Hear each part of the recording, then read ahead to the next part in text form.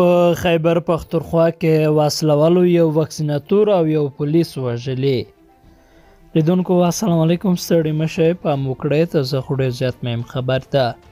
د خیبر پښتونخوا په لکه مروت کې نامعلومو وسلوالو د پولیسو یا د ماشومانو د ګوزڼ یو وکسیناتور او یو پولیس وژلی دی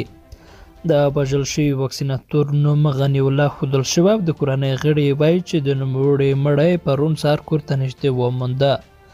له دې جلا د خیبر پښتونخوا په بنو کې د پولیسو پر یوې پوستې د وسلوالو په برید کې لږ تر لږه یو پولیس وژل شوی دی.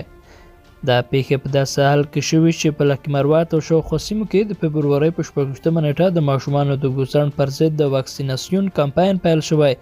او نن یې وروستۍ ورځ ده.